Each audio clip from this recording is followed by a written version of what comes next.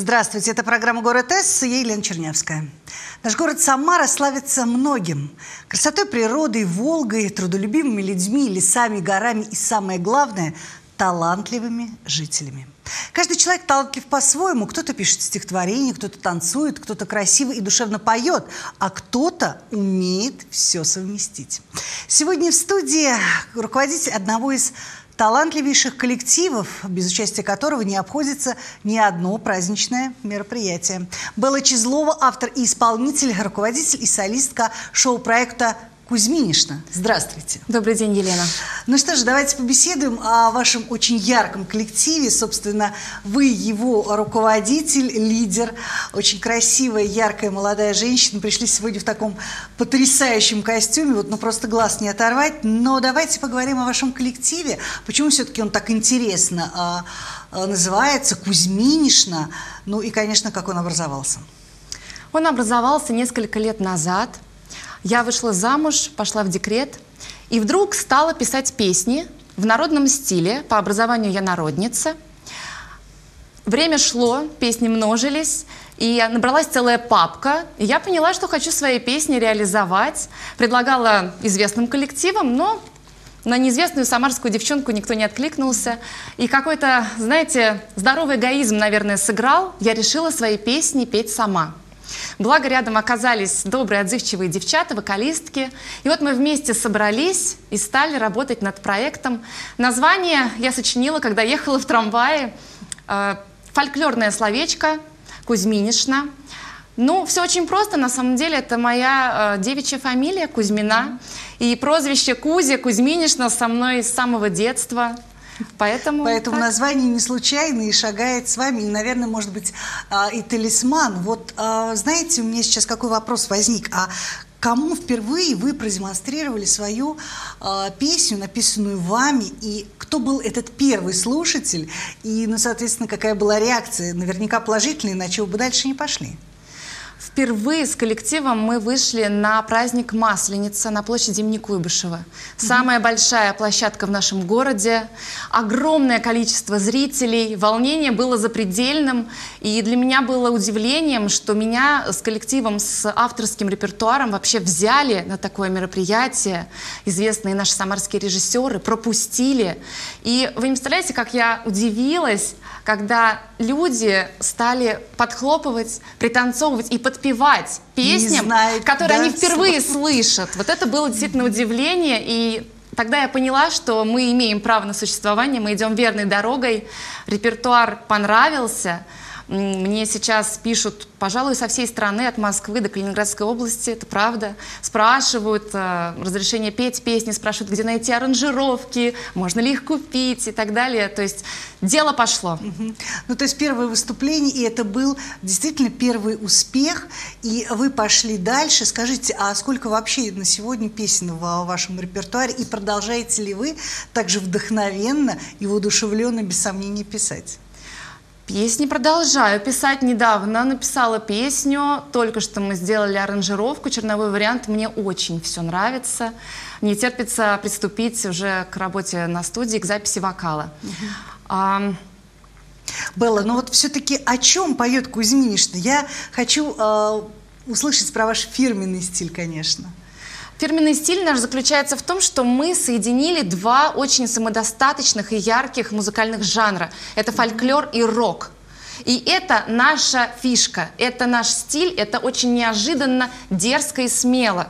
Я э, росла на рок-музыке, я впитывала с молоком мамы просто творчество нашего советского музыканта, мультиинструменталиста, рокера Владимира Кузьмина. Огромный отпечаток он отложил на мое музыкальное сознание. И э, так как я народница по образованию, вот два этих жанра, они как-то синтезировались во мне – и получился фолк-рок. Да, и недаром наверняка э, вы сегодня пришли в своем любимом сценическом костюме, да. да, он такой, к сожалению, мы сидим за столом и полностью не видно, но вот он стилизованный такой, да, да. тут вроде и э, рок переплетен. Я могу объяснить, яркие, кожаная куртка да? это является олицетворением рока, красная юбка олицетворение фолка, ну еще у нас есть на голове замечательные короны, угу. так как мы девичий коллектив, который делает авторский зажигательный угу. фолк-рок, пожалуй, мы единственные в стране. Но вот, кстати, а ведь вы и должны для такого удивительного коллектива брать и не менее оригинальный репертуар. Где вы его берете, Белла? Мы этим и отличаемся. Это наша оригинальная э, такая особенность. Я пишу песни сама для своего коллектива в народном стиле. Все это заворачиваем в роковые аранжировки. И получается действительно эксклюзив, потому что такого больше нет ни у кого. Вот так. Где уже успели побывать? Какие города покорить? Ну, на страны, наверное, не замахнулись еще, хотя я так полагаю, что у вас сто процентов все впереди. Я думаю, что обязательно поездим по городам и по странам. А, на данный момент были в нескольких городах, но это было в рамках теплоходной навигации, угу. поэтому проездом. Ну, я думаю, обязательно. Да, конечно, все еще впереди у таких талантливых людей. А, расскажите о ваших а, творческих планах и над чем сейчас работаете? В 2021 году наш, у нас вышел дебютный альбом «Не забыть, не разлюбить». На нем представлены мои авторские песни. В 2022 году вышел второй студийный альбом «Фолк Напалм», где мы поем популярные народные хиты, аутентичный фольклор и песни других авторов. И сейчас, приоткрывая завесу тайны, скажу, что мы работаем над третьим студийным альбомом, куда войдут снова только мои авторские песни. Название пока держится в секрете. Работаем на студии очень активно. Вот про студию поговорим отдельно, ну а для тех, кто не видел и не слышал э, коллектив Кузьминична, я сейчас предлагаю вот окунуться в такую очень музыкальную атмосферу, ну и посмотреть, что из себя представляет этот коллектив. Давайте посмотрим видео.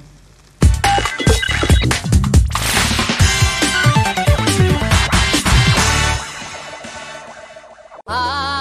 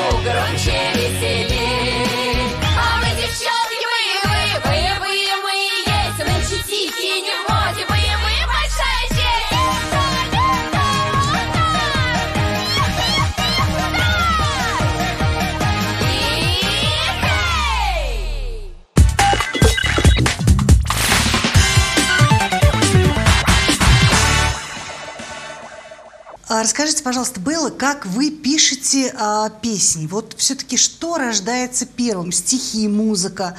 Ну, из чего начинаете? Как вот у вас это происходит, вот этот творческий Специального какого-то настроя, ритуала у меня, конечно, нет. Муза приходит спонтанно, и когда это случится, неизвестно. Часто бывало утром, когда я делаю дома уборку. То есть неожиданно. Не могу сказать, что пишу раньше стихи или музыку. Наверное, Сейчас вот думаю, все-таки текст идет первым, потом уже мотив. Но это вот момент вдохновения. Пару минут, и песня готова. Угу. Ну, вы сказали о том, что вы выступаете на творческих площадках города, то есть это праздники, можно вас увидеть, но, а, конечно же, а, есть у коллектива коммерческая составляющая, поэтому если а, хочется вас увидеть на корпоративах, на личных каких-то праздниках, то можно ли вас пригласить и как удобнее это сделать? Да, конечно, мы работаем на закрытых мероприятиях корпоративного свойства, свадьбы, корпоративы, банкеты и городские открытые площадки, которые я обожаю всей душой. День города, Масленица, День Победы, День России, Новый год. А, как с нами связаться? Мы есть в социальных сетях, ВКонтакте, в Телеграме, на Ютубе. Можно пойти еще проще. Вбиваете в поисковике Белла Чизлова, сразу много-много ссылок на мои авторские песни, сразу можно увидеть товар лицом. Да, посмотреть. Ну, а если, ну, вот какое-то нестандартное предложение, может быть, я имею в виду какой-то репертуар э, известных э, певцов, э, певиц, вы перепеваете, либо вы преподносите только свой эксклюзивный материал? Я начинала с того, что настаивала только на своем авторском Репертуаре. материале. Да, но... Э, к сожалению, большинство заказчиков просят исполнять и популярные народные песни тоже. Поэтому, конечно же, в нашем репертуаре имеется и «Самара городок», и все-все-все популярные песни, которые актуальны для нашего самарского и не только зрителя. Да. Ну вот самая корпоративная работа певца, конечно, работа на студии. Вы об этом уже немножко рассказали. С кем вы сотрудничаете, где записываетесь, если это не коммерческая тайна, конечно. Но и все-таки, да, как происходит вот создание хита? Я работаю с профессионалами своего дела, мне очень повезло. Я встретила на своем пути замечательного самарского аранжировщика Павла Полякова. Мы с ним с самой первой песни до сих пор, это такой крепкий музыкальный тандем. И, конечно же, звукорежиссер Владимир Ермилов. Просто ребята настоящие профессионалы своего дела. Что вы больше любите в своей профессии? Вот именно процесс создания, рождения шедевра, либо все-таки вот сам процесс, когда вас слушают, вам аплодируют, на вас смотрят, вам дарят цветы, возможно, почему нет? Вот было, как... конечно. Было, конечно. Мне больше всего нравится работа на студии. Потому что я прихожу туда в основном не с популярными известными песнями, аранжировки фонограммы которых есть в интернете, мы все это прекрасно понимаем. Я прихожу со своим авторским материалом. И мы собираем песню с нуля. Мы садимся вместе с Павлом Васильевичем и, знаете, каждый такт, каждую ноту выверяем.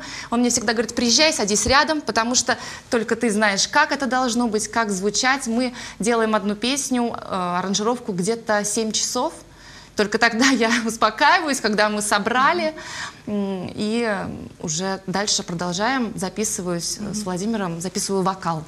Ну, я уверена, что музыканты сейчас вас поняли, и вот прям вот самая такая нотка прозвучала. Ну что же, спасибо вам большое за очень интересную беседу. В конце проанонсируйте, где в ближайшее время можно увидеть, услышать Кузьминишну.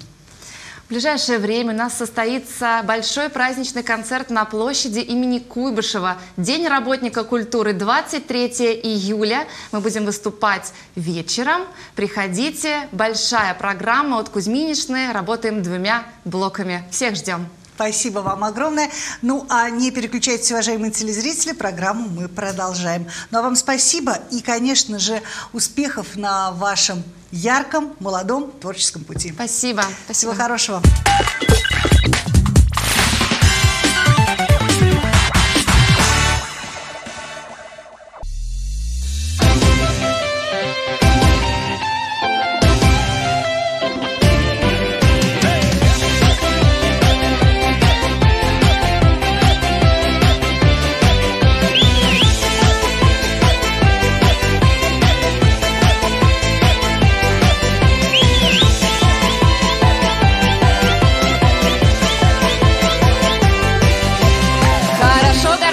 шишечка играет, а переборы наши раздольные.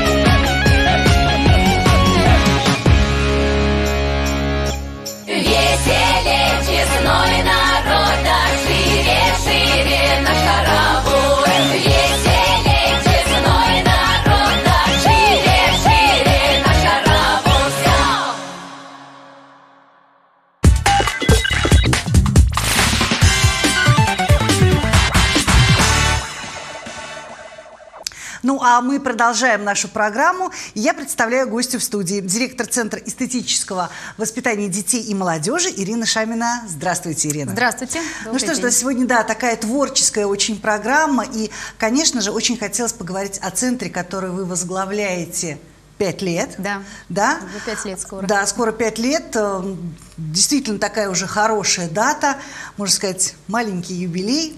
Ну, а я прошу сейчас рассказать вас все-таки об истории создания Центра а, эстетического воспитания детей и молодежи. В общем-то, это муниципальное учреждение. И скажите, вот что выделяет именно ваш центр в плеяде многих ярких центров города Самара? Но центр был основан в 2001 году. В прошлом году мы отмечали а, очень так хорошо, весело наш юбилей, небольшой, 20 лет, но все равно это уже юбилей был. У истоков создания этого центра стояли очень творческие, креативные, активные люди, перед которыми я до сих пор преклоняюсь, очень люблю и уважаю. Это Владимир Михайлович Ощепков, почетный гражданин Самарской области, хармейстер, профессор и Любовь Федоровна Шмакова. А, именно с такой инициативы по э, открытию такого центра они пришли к тогда к руководителю департамента образования Алле Александровне Волчковой. А, и э, вот благодаря э, Алле Александровне и тогда главе города э, Георгию Сергеевичу Лиманскому этот центр был открыт. Э, основная идея открытия такого центра была, это чтобы собрать э, профессионалов в области культуры и искусства, создать э, творческие мастерские, чтобы именно там обучались педагоги города. -hmm. Ну и, конечно же, основным приоритетным направлением тогда центра было это хоровое пение. Потому что Владимир Михайлович, хормейстер, он как бы всю свою жизнь посвятил именно этому направлению, именно хоровому пению. И тогда в центре был создан э, хор «Золотая лира». Это был хор трех поколений, там были ветераны, молодежь и дети. И вот э, именно такая была идея создания центра. Э, но что сейчас наш отли... нас отличает, конечно, от других центров и других дополнительных учрежд... учреждений дополнительного образования, это, конечно же, вот э, продолжение вот этих традиций и в то же время э, внедрение инноваций. Э, и сейчас мы э, работаем по нашему девизу «Это творчество, традиции, инновации». Ну, вы сказали, что тогда обучали педагогов, сейчас Центр эстетического воспитания детей и молодежи все-таки на молодое поколение рассчитано. Я этот вопрос вам задаю не случайно. Какие современные сейчас реалии в вашем центре? Э, но сейчас у нас дополнительное образование по национальному проекту образования и федеральному проекту «Успех каждого ребенка». Это для детей от 5 до 8 18 лет. Угу. В этом возрасте у нас, конечно же, все бесплатно, э, все наши объединения работают. Что сейчас отличает? Это, конечно, то, что появилось э, много других объединений, и в том числе и направленностей. Конечно, сохраняя нашу художественную направленность и то, что было у нас раньше, это наша традиция, это хоровое пение, академический вокал, это работа методической площадки и, конечно, творческой мастерской, потому что творческая мастерская по фортепиано, которая возглавляет возглавляет бессменный руководитель Виталий Тимофеевич Семенов. Это доцент кафедры фортепиано СГИКа. Она до сих пор существует и пользуется очень большим успехом. Ну, а то, что наши инновации, это, конечно, наше новое объединение э, спортивной направленности, потому что появились э, такие Э, объединения как э, КПР, э, кикбоксинг, тэквондо, в том числе и там работают, есть объединения для детей с ОВЗ. У нас сейчас очень активно открываются объединения направленные социально-гуманитарные, которые в последнее время очень востребованы. У нас есть клуб «Патриот», также «Путь в профессию», это наша профориентация, юные инспектора движения. Ну и, конечно же, техническая направленность мы развиваем, у нас есть техническое моделирование и компьютеры, и мы стараемся это тоже э, придерживаться этой направленности. Ну и, конечно, художественная, без нее никуда. Она до сих пор все равно, несмотря на то, что э, стараются активно сейчас внедрять и техническую направленность, и, естественно, научную, но все равно родители до сих пор э, выбирают именно художественную направленность и приводят детей к нам, чтобы мы их научили петь, танцевать, рисовать. Mm -hmm. Э, поэтому... Скажите, а вот все вот эти современные направления, они возникли недавно?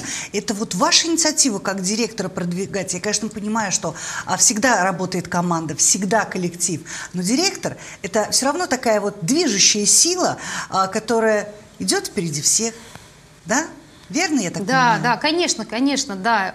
Э, я стараюсь э, двигаться много со временем, учитывать все э, новые тенденции, требования времени, поэтому, конечно же, и возникли, возникла необходимость именно в появлении таких новых объединений. Этого до меня не было.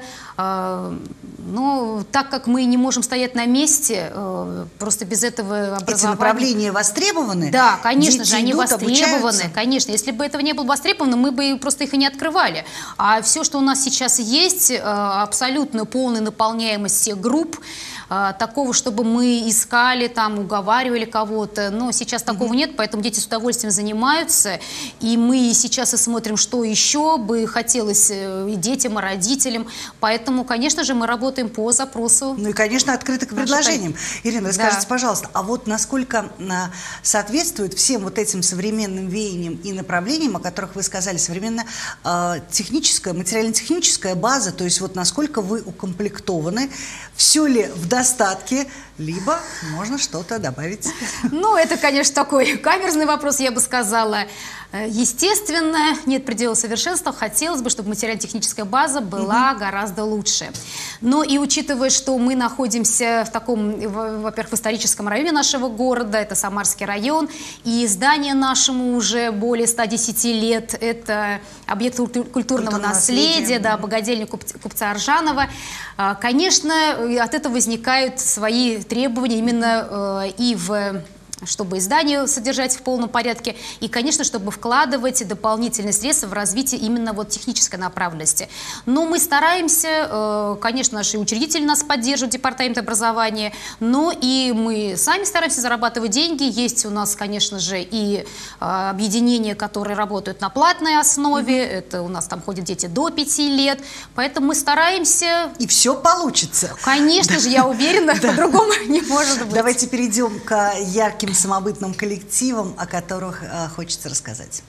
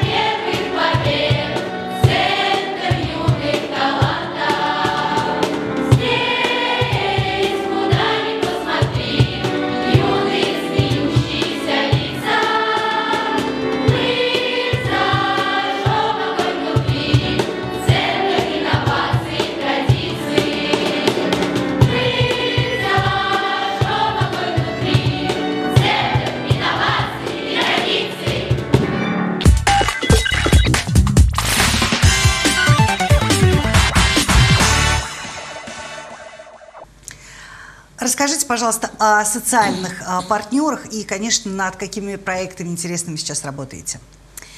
Э, но, э, конечно же, отдельно центр существовать не может. Конечно же, мы э, работаем со многими учреждениями образовательными города. Это, конечно же, и школы, в первую очередь, наши социальные партнеры, и другие учреждения дополнительного образования.